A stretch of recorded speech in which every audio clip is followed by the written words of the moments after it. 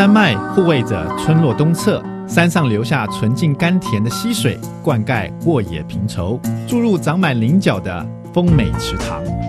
这里的人们以休闲消遣的轻松心情，采收聚落共有的鲜甜果实。这些果实生长在健康无毒的环境，任谁都可以现采现吃，完全不必担心农药残留或者环境污染。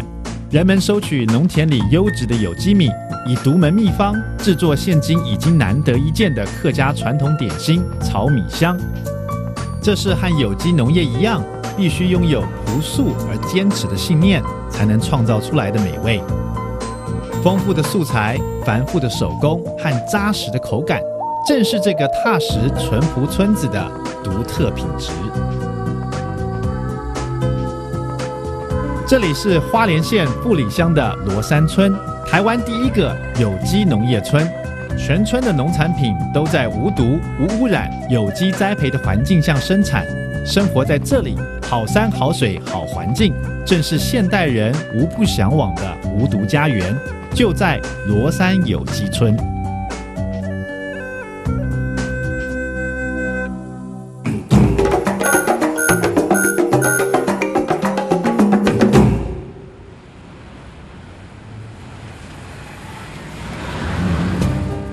这是风景秀丽的后山净土，顺省道南行，进入花莲县布里乡，在九号省道到三百一十一公里处转往海岸山脉方向，意外的是一条更宽大的公路。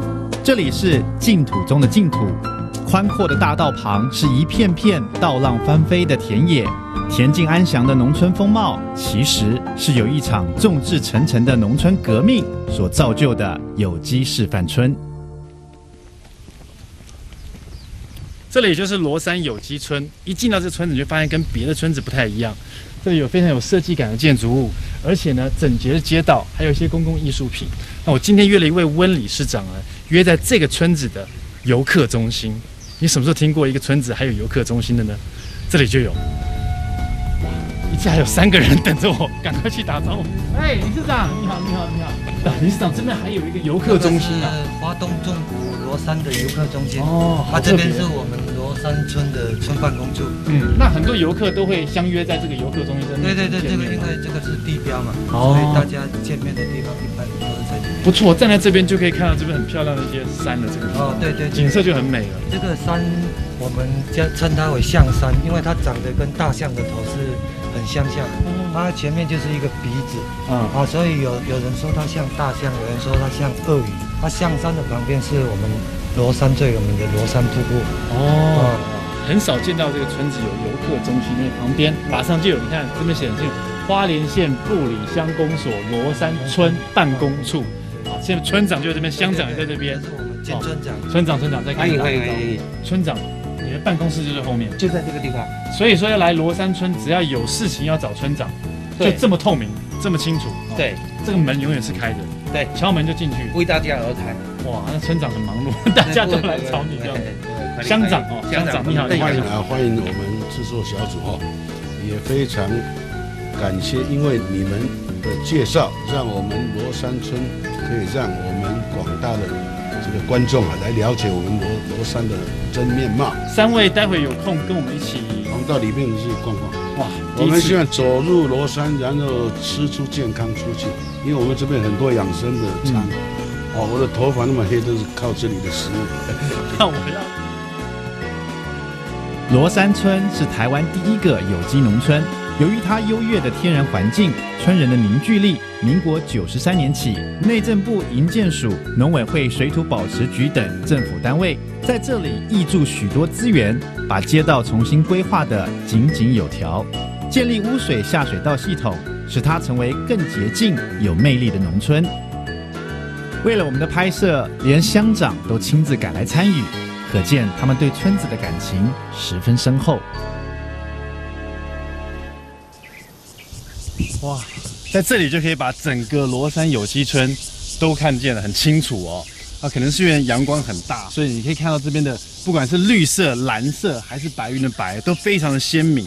然后像这边的景色，感觉上就好像可以在那个摄影比赛里面可以看得到这样的这个作品哦。因为我们罗山有机村里边哈，就是一个盆地，那我们所现在看得到的就好像一幅画一样。嗯。那一幅画当中呢，我们的东边就是国物盛名的罗山瀑布，啊那边，哎，罗山瀑布。那我的西方呢，就是我们泛舟西湖南溪，哦，就在那个地方。那么我们的北边呢，就是我们本身哈很有名的那个蓝宝石产地，就是九岸溪。嗯。哎，那我们那个这个南方呢，就我们罗山村的命名，雷阿坑罗仔溪，就是在我们这边。那本身我们这个地理环境呢，就是被这个整个一个呃山峦环抱起来，一个盆地。就听说，因为罗山这个有机村呢，它有名就是这个有机部分又无毒嘛，所以还经过这国外的认证呢。对。那罗山它它到底会有为什么有这样子的一个条件，成为这样子的有机村呢？因为罗山本身哈，在我们所看得到的当中，我们的水源哈，又由我们罗山瀑布留下来的独立一个水源，没有受到旁边支流的污染。做有机的话，要有一个隔离带。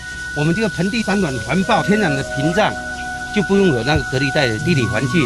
哎，那村长在这么漂亮罗山村当村长，会不会特别轻松，还是每天都很愉快的？有两极化，嗯，一一方面是看到很多游客，他们慕名而来进来要看我们罗山，也是说要来学习说罗山有机村他们怎么去做，自然而然会带来经济上的效益。那另外一种隐忧就是说，本身他们进来之后。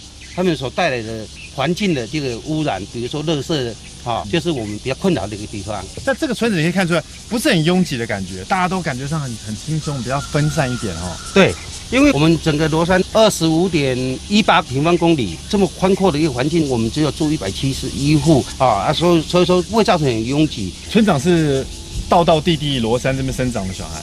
不是，我本身我是在隔壁村，我是在竹林竹田村长大，呃。到我七岁，我才搬来罗山的。七岁才搬来罗山。哎，那那时候的罗山跟现在罗山差很多吗？房子来讲的话，都是用土盖土，土盖土的话，就是说用那个我们的那个泥土，还有牛大便、牛粪，以及稻草，那去搅和之后，让它干了之后再摞起来的房子。因为那时候的经济环境差。对。那像我们以前小时候。像我，我本身那时候经济环境很差。我小时候我被我父那个父母打的原因，主要在在什么地方？因为我们要吃冰棒，没有钱啊，我就把我的锅家里边的锅子拿拿去换冰棒。结果回来家里边没有锅子可以煮饭，害我被打了一顿。你把锅子拿去换冰棒？对。啊，因为那时候看人家有朋友有冰棒可以吃啊，啊，所以说那时候。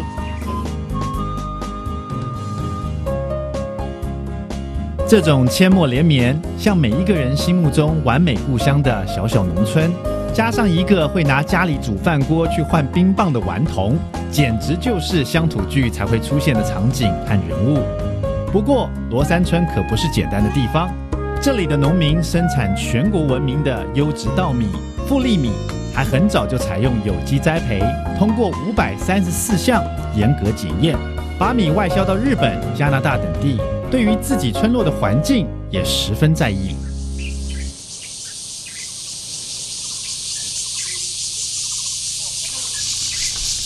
你要踩菱角？哎，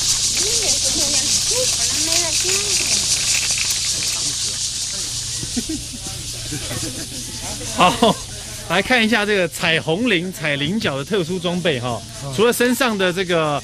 呃，救生衣、袖套，还有这个头顶上的草帽以外呢，最重要的这个特殊装备就是这一个大卡车的内胎，再加上脸盆，洗澡的脸盆。啊，这两个组合起来就变成无敌铁金刚啊，不是组合起来就变成彩虹林的特殊的装备，这是一个小船嘛哈，待会我就要坐这个去彩虹林了。哦，那那个温大哥，你要跟我下去吗？哦，我没有办法，我我们这边有一个踩菱角的达人，潘俊龙。嘿，潘大哥你好，踩菱角达人是？本身每个人都会踩，不是我会踩嘿。那对我要对我好一点，温柔一点，因为我是第一次踩。好好，没关系，好不好？好好好，那温大哥，好，那我们下我们就下水了。好，好，这样就可以了。哎哎，那潘大哥为什么我这个手上要戴这个袖套？因为我们这菱角上叶子哈，这个叶子里面你刚摸就有那种有有点带刺的感觉。对，去踩的时候才不会去刮到。哦，你现在踩没有感觉，可是回家的时候你会觉得手会痒痒的。哦，对对对，所以要戴袖套。对对对。哦，了解了解。那我就直接坐上去吗？正中间。好，来来，没关系。好，哎，好。第二个，蹲下来，蹲下去，对，蹲下来，哎，还蛮稳的哦。哎，好，你现在已经站稳坐稳了嘛，然后把脚跨上跨上来，脚跨上去。对，哦，这个等一下头发有点困难。不这个会很烫，因为晒太阳。对，这这个橡皮很烫会。很烫。来了，脚跨上去。对来跨没关系，哎。好，好，就这样子就是，这样子。哎，然后你现在我我教教你怎么转向，啊然后你的左手扳它会往那边，对，左手扳会往右转对，然后右手扳会往会会左转，哎，这样子就来了。这样就出去了，对对对，就出去了，可以吗？然后你要你要向前的话，两只手平平均的平均的给它拨，它就会哦会会往前的。那嘴巴要不要叫啊啊啊？都不太会走的感觉。越深越好，越深越好。我出去了，张艺谋。这刺刺的呢。对啊，如果你去划它的话，你会感觉到手是扎扎的感觉。你拿上来的时候，你要轻轻的拿上来。哦，你拿起来的时候，这有哎，三这边有，哎，这有三个，对，但是你要它有分一个一个层次一个层次，它这个还很嫩，嗯，这个也很嫩，但但是这个成熟了，你稍微给它扳一下，它就掉了。哎，掉了，真的耶！你怎么看这个嫩，这个嫩，这个成熟因为它它的叶子有一层一层一层嘛，对，它最下层的是越越成熟，哦越上层的是还没有成熟的。哦，所以我要看下层的。对对，啊，你现在拿像这个，这有三颗，可以拿到两颗零红磷，啊，这两颗可以拿，啊，这一颗再放回去，哦，这一颗再放回去，为什么要这样子呢？让它在三天五天它会成熟。哦，了解了。那这个红菱它是这个时候是季节可以采的，是？以农历来讲是七月半至八月嗯份开始采，哦，然后可以采到十月。可以采到十月。对，好，那就把这一颗把它放回去。它，如果你你如果说你把它翻过来的话，对，它要好几天才会自己翻过来，嗯因为它是有浮筒，等于它有一像气艇一样，这边有浮萍的感觉。浮萍的感觉。采收完的时候，你再把它放回去，对，它它它就很快又再长了，它就不会晒干了。不会晒干，它就不会死掉了。好，我已经有两颗成果了，慢慢来。大哥，你说我要往前是？一个人上比较难上哦，不会啦，有经验的。你要把那个平均的，这种这个这个游泳圈的平均力抓得到的话，就那你可以划过来吗？可以啊。哎，你划怎么那么轻松？你要平均，然后它这个菱角，它那个它的根会缠到你的脚，对，你要把它拿下来，哦然后你继续走就可以了。哦，你要走的时候把脚翘高，走的哦，走的时候要把脚翘高。然后看一下，嗯，正常都两颗，正常的两颗。对，那、三颗的话，你要很小心的去拿。为什么我踩的都是没有的？这菱角没有花的，哦，这边是花，对对对，看不太出来。你要注意看才看得到。白色，白色是花哦，对，它会开花吗？先开花才会结果，一样菱角也是是先要先开花才会才会。它先开花，这边就会结一个菱角出来。对对对对，啊，花是白色的。这样子就算开了吗？还是还没开了这样就算开了。开了，是真的。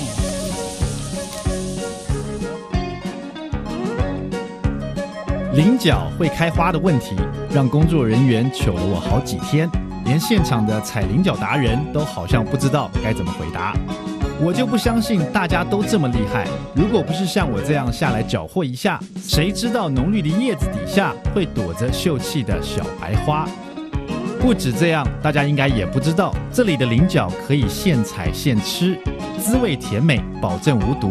这都多亏了有机村的坚持，还有从罗山瀑布留下的甘美山泉。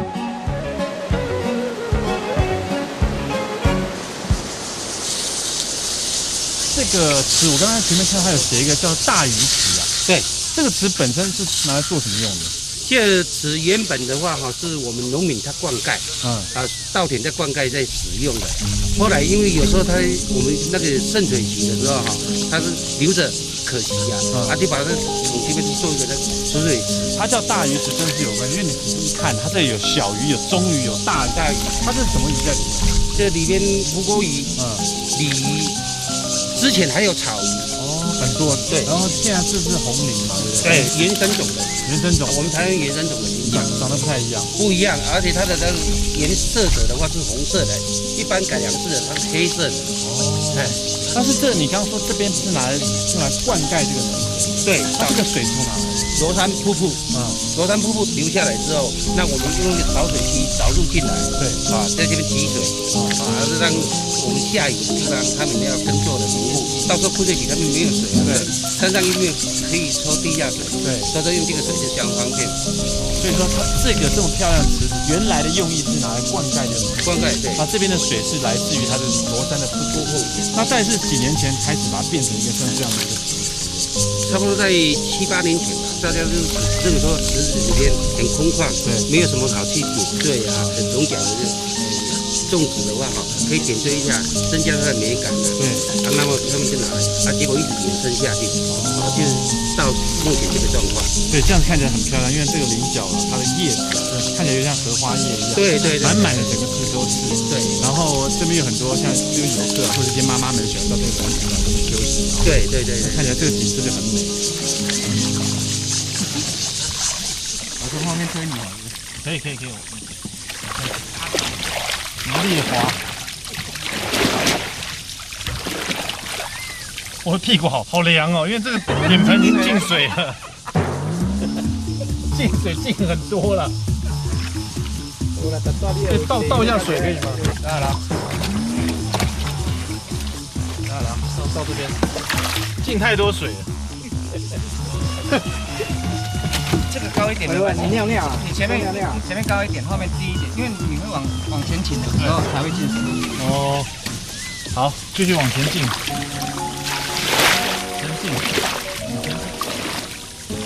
现在我后面可能你会比较好走，因为你帮我开路是吧？滑到外面去找那些大妈们，因为他们是老鸟啊，去问他们怎么怎么踩比较快啊。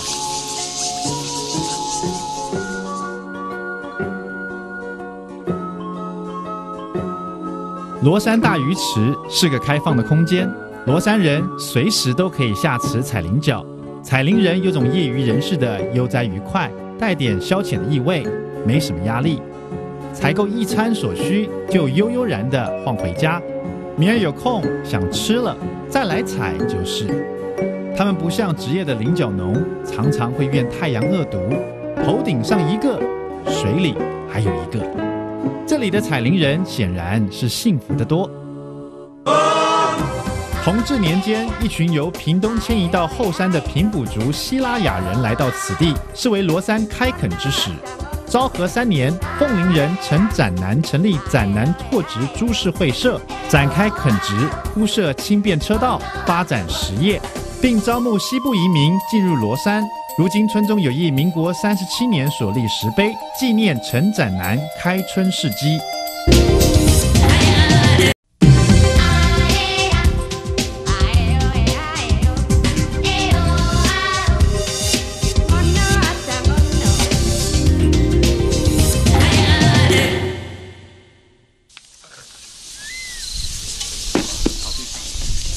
五半条不？五就这不？对哦。来问一下这个大妈，她怎么怎么称呼她？是江妈妈，江妈妈哦。哦，姓马力后。哦，你，我看你慢多少过，你可以过来我这边吗？你来我家好不？好我我没叮当啦，哇！我这都进水啊。哇，进嘛很厉害，你看他边讲边过来，还是手都不会停的哦。他边环过来，还是边看有没有菱角，这个是达人专家了。达人专家，像我只能专心一件事情，就是不要不要翻过来就好了。不要翻跑进来，除非你动作很大才会翻。哇，很多耶！嗯，这边，你来淘汰了。厉害！来来来。哦。进来我看你，哇，好厉害哦！这是慢你慢的哦。嗯。哇哇，就当然呢。哇，你看，好厉害哦！这整袋都是芥满慢呢。你慢多久了？今天？差不多。还要慢瓦固？慢有啦，有零在煮饭啦。你慢瓦固啊？八点钟至几点钟有啊？你挂点钟就慢这么多？哇，你就好哎！你每年都有来办吗？古尼不生啊，哦，古宁去年比较比较少一点的，只要鱼池里面有草鱼，就被都被它吃掉了哦。今年比较多啦。哎今年今年没有草鱼就哦，你那就就会要慢呢，我都慢不，我我只有慢三个，啊，你也没得办呢都捌看有。我无慢过这。哇，这就就好，这你啊，这要怎么做才好吃？这有好吃不？这炸啊，这甜甜的啊，甲白吼啊哎，用煮排骨汤瓜粉啊啊啊滚排骨汤，安尼哦哎，你住伫这这个家是吧？是吧？隔壁蒸隔壁蒸哦你哦，你住石牌那边呐？哦，那你什么时候会来这边办？嗯啊，个想到爱食就来办啦。安尼哦，哎啊，你带我出去办了我，我搬着你的轮胎，你带我出去办了我，你比较会办呐。哦，哇，好厉害！他连带着我，他还可以滑往前滑呢，嗯，好厉害。这边都被那个潘大哥办完了啊，我都办办不高。这样子菱角一斤在外面要卖出多少钱？我们有在卖了，我们都是自己吃的。那你会唱彩虹铃吗？你没有？我去我一天哦。哦，没有。我们俩划着小船，彩虹铃，啊彩虹铃，这两个郎有情，这两个没有义，就像那什么两头铃，它一同日升，我俩一条心。哦，有看有听过不？有。有哦，嗯，好听。但是但是我还是动不了。拉你一把吧。这边要踩过了。啊，这边有，找到了。哇，其实踩菱角的感觉很特别哦，因为你 也是头一次坐这样的交通工具，在一个大轮胎上面，然后坐在这里面，那个水会进来，所以你屁股一直会凉凉的。那只要顶着这个大草帽，也不会被晒晒到头昏。所以在彩虹林整体的感觉很像在寻宝。如果你找到的话，心里会很兴奋；如果找不到也没关系，把它放在旁边呢，你会期待它过两三天再长大一点，再回来采。那继续往前滑，又继续的这个寻宝中啊。所以如果没有踩过菱角的朋友，我可以跟你讲，这样的经验很特殊，而且你会终身难忘。而且到现在我才知道，原来《彩虹铃》这首歌啊是这样子的感觉。一首《彩虹铃》被我唱得七零八落，阿嬷还是很赏脸的，没叫我住口。可见这里的人已经被好山好水熏陶出一副好涵养。不过我还是很有自知之明，知道自己当个记录人一定比当歌手称职，还是乖乖住口，专心体验这个让人心情愉快的菱角池，同时也感受罗山人享用这片山水的悠游自在。池子里不分男女老少，多半笑嘻嘻的彩铃，不需要有人盯着，他们都知道这片无毒开放的园地应该好好珍惜。尤其在这个随时都可能喝到毒奶粉、吃到有毒米的险恶世道，去哪找这种什么东西都可以安心往嘴里放的地方？而这个好水出好米，好米养好人的地方，更有好人用好米做的顶级米香。我这一位就是我们做米香的温先生。你好啊，你好，你好，你好你们好，你们好，我们是 MIT 台湾制。啊，谢谢，哇谢谢，欢迎你们的。你们两位怎么长得有点像？哇，这哥哥，这温大哥就是你大哥这样子。哦，这是大嫂。哎，你好，你好，你好。你好。我们刚刚走进来的时候，看到这一片稻田啊，嗯正好太阳下下去了，哇，绿油油，这样好漂亮。炒米香就是用这个我们看到这个绿油油的有机米嘛。对对对对。那我们来看看到底是炒米香是要怎么做。哇，好大一锅哦！我现在先开火。嗯这是炒米香用的米。对对那这个米的颜色为什么是跟我们一般看到的白米不太一样？是黄黄的。我这个要处理，不但是也也也是糙米，也哦也要处理过的。这个米因为要炒米，所以已经处理过了。对对对，这个大概怎么处理的？我注意这个 过程很麻烦的。过程很麻烦。嗯，对对我听说是好像也有一点机密在里面。对对对不能讲，但是很复杂，对，很复杂，哎，过程很复杂。有几个步骤。我那过也过程也注意到好会爆哦，都也差不多一个也一个礼拜。要一个礼拜啊嗯嗯，哦，要一个礼拜才能注意到这样子对，对对那很麻烦哦。对对对这个跟太阳有没有关系？有有要晒啊，一定要晒。所以跟太阳有关系。对对对那要不要加什么东西在里面？没有没有没有没有加完。全没有，没有没有，嗯，那是传统的，没有的。哦，没有加什么，它的颜色变这样是因为有晒过的关系，就是哦，还有一些手续就是了。对对对。嗯那这个炒米香就是说跟我们吃的那个爆米片啊爆米汤很像，是不是？哎对爆米汤是用爆爆的，对，用爆啊，这是用炒的，用炒口感应该不一样吧？不一样不一样这是客家的，对对。在广东陆丰一带那哎哎也有哎，不是他们哎那边传过来的哦，，是从广东那边传过来的对对。陆丰那边那那一带，哎这样子炒米香我没有吃过哎，哎。等一下炒你就知道。真的哦是炒出来不知道变什么样子。在在这哎，给我你炒给你吃。好，也也是也是会有爆炸声音吗？没有没有没有没有。嗯，那这个盐巴放在这是做什么？哎呦，这烫烫的，差不多一百度才可以爆这个盐，这个大概会做多久？一一个小时。差不多一个小时，差不多是吧？以前我小时候都是哎不吃这种，小时候都吃这种。我们摄影师张艺谋也是也是吃过这种，他知道怎么做，他说他妈妈会做，但他也没有亲眼看过。好我们来看看这样，我亲眼看过，你 亲眼看过吗？真的吗？从小吃到那到。我们把这样子，我来拍你来做好了。没有啊，那问大哥，好，来温大嫂，那现在开火先开火，要先炒到一百度的。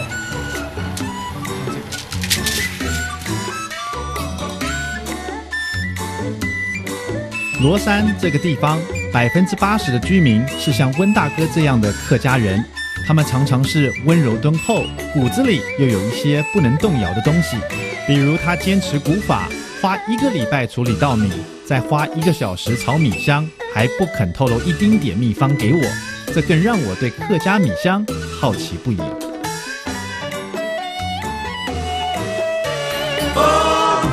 台湾的菱角以嘉义、台南为主要产地，其中以台南县关田乡产量居冠，全乡栽培面积超过四百公顷。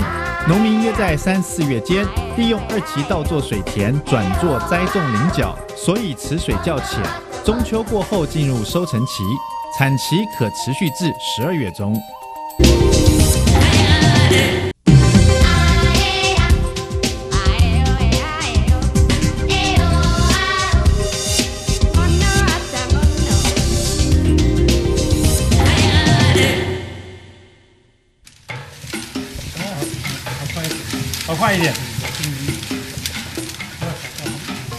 哇，爆爆了，爆了，爆了！变成一颗一颗的，变得比较胖一点了。哇！哦，这就是炒米香，好特别哦。它不是跟那个红米汤一样用爆，它是用炒的哈、原来这个意思是把它炒成一颗一颗胖胖的这样子。哇，这个炒会满头大汗。哇，还有成就感，看它变一颗一颗胖胖的胖小鱼。倒到这边是还要再筛选是不是？到这边。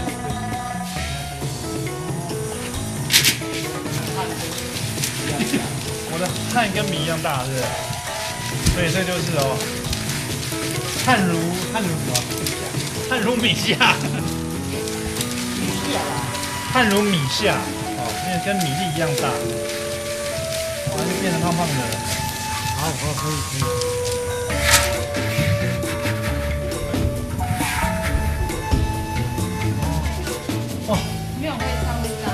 文大哥动作就很很迅速，而且很老练的感觉。你这样转这个转好轻松哦，我刚刚好像在洗锅子一样。那你这个真的在在炒东西的感觉，仔细听都可以听得到那种米哔哔叭叭、哔哔叭叭的声音。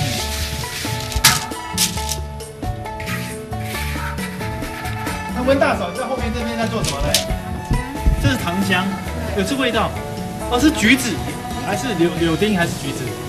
是橘子皮，是不是？好香哦，它的味道有点像那个橘子的果酱哦。如果有吃过橘子果酱的话，那个味道很像这个，这是更浓一点。那这个是要烧多久的？要浓跟稠这样，我感觉上你这边好像比较简单。不是这个比较简单，这个很重要。这个煮的不好，整锅都去了。哦，所以温大嫂这边是比较重要的。这个比较重要。啊，温大哥，你那边比较不重要，温大嫂这边是比较重要。就不要再挑拨离间了。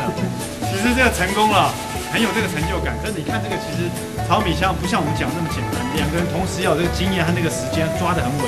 温大嫂一直在注意温大哥这边炒的怎么样，他这边浓稠够了就要加过去，开始要混了哦。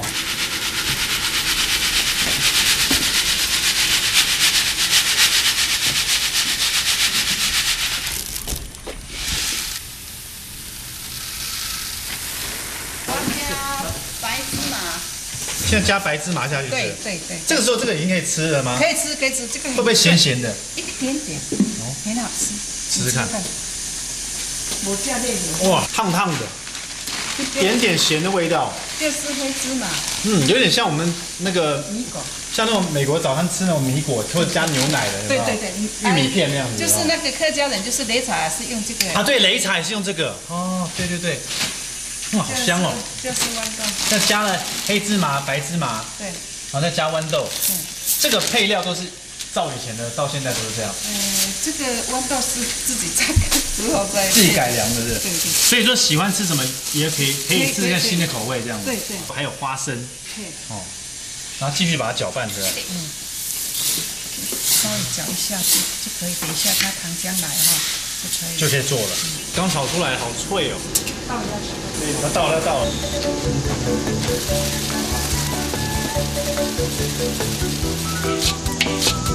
哦，现在很稠这个糖浆。现在搅拌了吗？对，一直搅拌，用这样吃。速度要快。啊？这样快，这样快。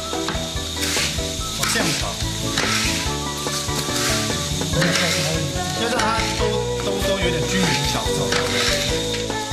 哇，现在变成有点漂亮的一个亮亮的颜色，那个就是糖糖浆已经沾上去。对，我们大嫂准备手套在这边，给我。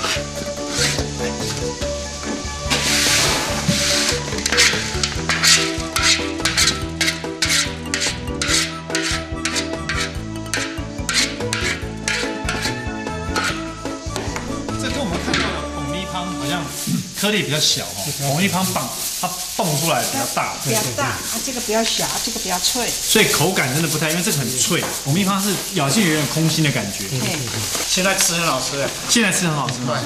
现在可以偷吃一点吗？可以可以可以，就直接这样偷吃。我孙子可还小小，哇，好烫，哦，好烫，他自己要拿来吃哦，我拿给他吃他都不要。哇，好好吃哦，它那个糖汁啊裹在外面，然后。红米汤脆脆的，然后咬进去有那个米的香味变出来，再裹上那个糖汁的味道，哇，好吃哎！我说给你体验啊。哦，不能只不能只吃而已，要要工作。哦，好好，好香哦！我相信很多来这边体验的朋友都是边做这个边偷吃的，哦，都会吧，对不对？大人都会，这个加这个橘子皮呀，是它皮味。这个是以前就是这样子的吗？对对对。哦，很聪明，那是古人的智慧。对，因为这个糖啊，加这个橘子皮，你会觉得干干的、甜甜的，然后有一股香味，橘子香味，不会很腻。所以不要吵架，不要吵架，拿那么大一只出来这做做什么？要要用的，要用的。那最后一个。好大一根哦，这个就是要快，要快。你这个，像这个，它现在是热的，它冷了以后就比较难调整了，对不对？等一下就会一。所以说，在它热的时候，赶快把它调整压到一个形状，它才会凝固粘在那边，形状就定型这样。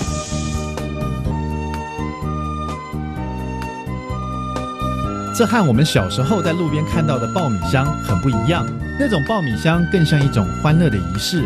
一阵等待之后，再嘣的一声达到高潮，口味已经是次要。客家炒米香却像是一种修炼，非得夫妇同修，苦尽甘来，才能享受那种扎实的口感和丰富的内涵。建议来到这里的观众，一定要自己试试那种先苦后乐的感觉。哇，好香哦！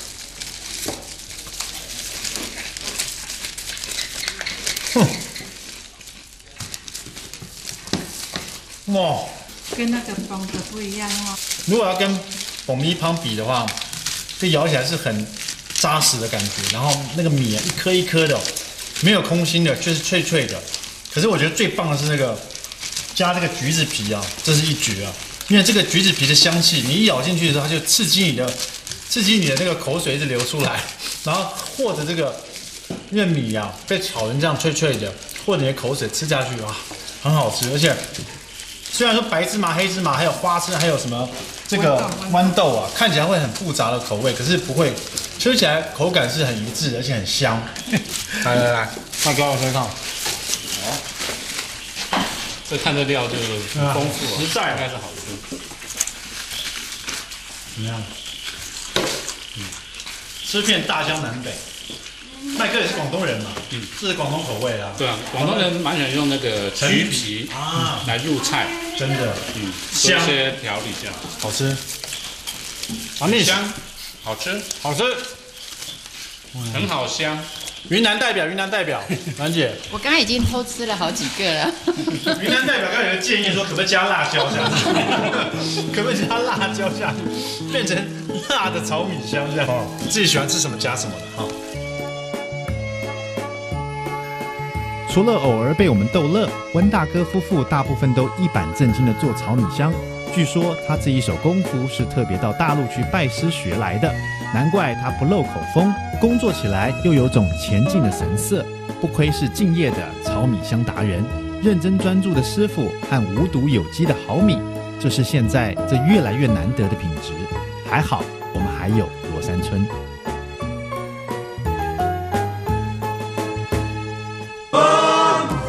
罗山露营区位于花莲县布里乡罗山村，占地二点五公顷，为小学校区所改建。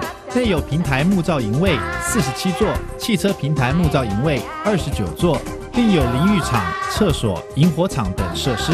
有意者需先行预约，确定营位有空。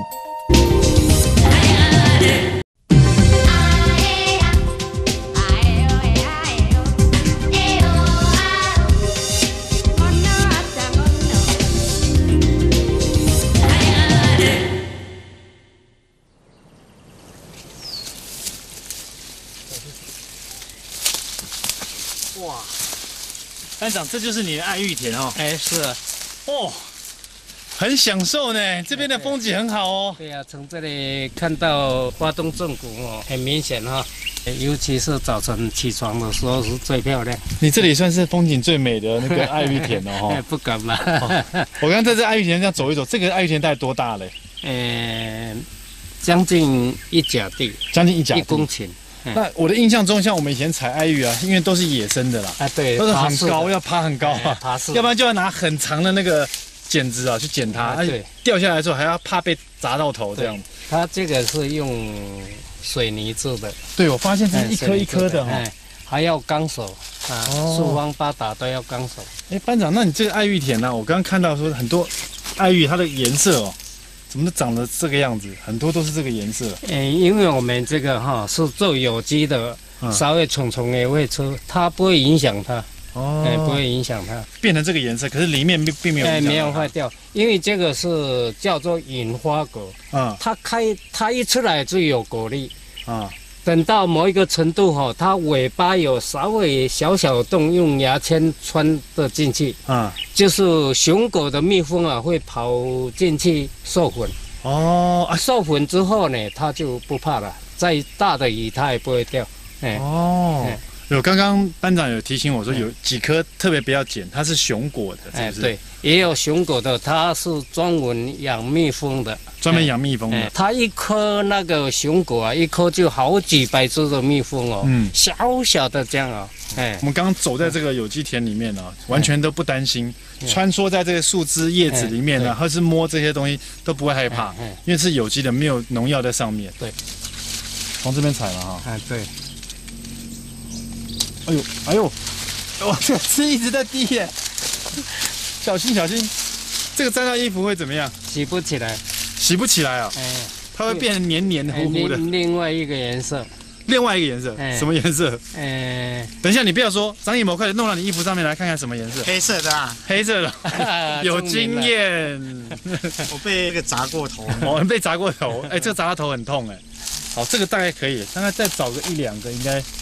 应该差不多，因为这爱玉田很大，其实还有很多地方都可以采。那我们正好站在这边，因为这个地方视野最漂亮。我在看班长帮我们再找到一两个，小心哦，班长。陈班长是罗山村果树班的班长，也是罗山村第一批加入无毒农业的村民。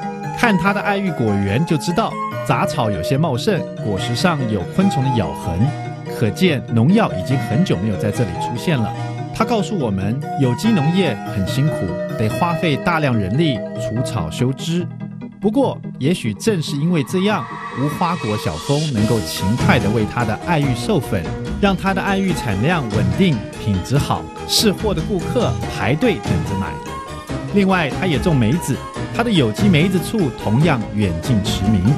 当我们采完爱玉，温贵平理事长的二姐已经准备好用罗班长的有机爱玉现场制作爱玉冻。温二姐和温理事长一样，个性直爽、热情好客。经过她指点，加上陈大哥爱玉的好品质，这爱玉真是入口滑嫩，有股清爽的甜香在嘴里弥漫开来。那是罗山村纯净自然的环境孕育的美妙滋味，最适合搭配这种美好村子的美好下午。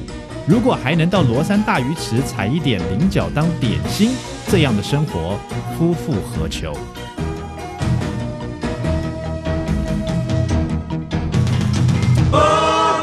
海岸山脉是台湾最东端的山脉，由海底火山经板块挤压堆升而成。北从花莲溪口，南至台东县卑南大溪河口，长约两百公里。由于受到秀姑峦溪切割，形成南北两段，北段低矮，南段较高，但都在两千公尺以下。最高峰新港山为一千六百八十二公尺。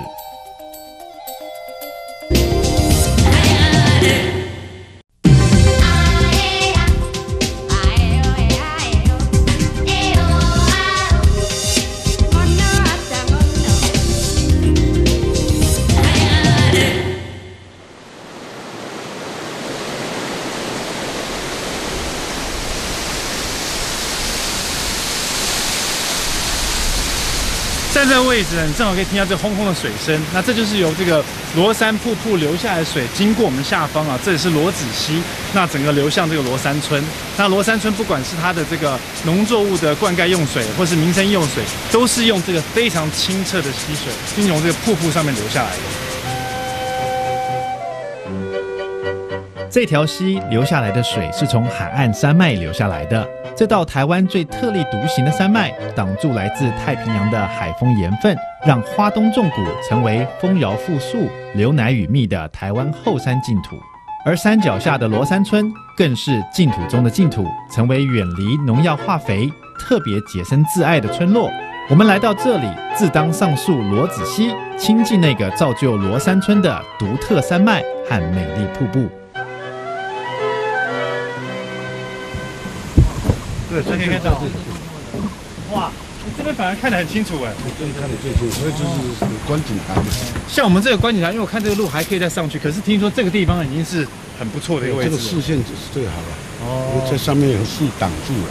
可是现在我们看到好像也不是整个瀑布的全貌。是，它那个瀑布那个上面是一条罗仔溪的。啊。啊，所以这个比较低，有缺口，就水会有一分流在流下来，就就形成瀑布了，是这样子。哦。如果全部可以看到的话，那全景是很壮观的。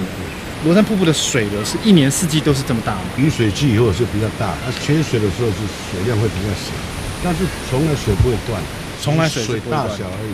所以来到这个罗山有机村呢，你进来这边逛一逛之余，你可以来看到他们这有名的罗山瀑布哦。而且呢，你可以上这观景台，这么靠近看到这个瀑布以外，刚刚我们走上的地方就是刚刚我们乡长说那个罗仔溪啊，它上方还有一个这个等于是拱桥在上面嘛，对，你可以感受这个溪流，这个溪水从下面流流经流水水流的声音，哎，对，非常的舒服啊，你可以感受一下这个水啊，很凉，很冰凉，很舒服。而且这个水有经过麦饭石矿，嗯，所以我家喝的水都是从这里来。哇，麦饭石是一种石头啊，那个石头你假如说一一桶水，你放麦饭石下，去消除水里面的有什么杂臭的那什么，有那个作用。所以我们有时候煮饭的时候，我们都那个饭里面我们放一块麦饭石。哦，尤其富里米是最好吃的，所以吃的很健康，头发吃的也黑。真的，这头发没有软掉。先长，乡长你几岁了？六十二，头发还这么黑。而且像这边我们看到所有的这个，不管是温大哥的温爸爸，或者这边所有的乡民，几乎头发都很黑哦。是这跟喝这个水有没有关系？这个不知道。流过麦饭石的纯净甘泉，充满芬多精的天然山林和无毒有机的田野农作。生活在这里，头发不变白，牙齿不动摇，两眼不迷茫，应该是理所当然的事。一百多年前，人们进入这个荒远的不毛之地，开始种植作物，发展农产品加工业。所幸，它没有随着台湾的经济起飞迷失，在四周封闭的环境里保有最初的纯净。在环境纷乱、毒物无所不在的现代社会，有幸住在这里是极大的福分。如果放不下红尘俗物，那也应该安排个一段时日到这里来个 long stay，净化一下无意间进入体内的诸多毒物。如果连 long stay 都不成，至少该来个两天一夜。到有机村来吃吃人该吃的食物，过一过人该过的生活，然后给自己的人生一点想望，终有一天要住到这种地方来。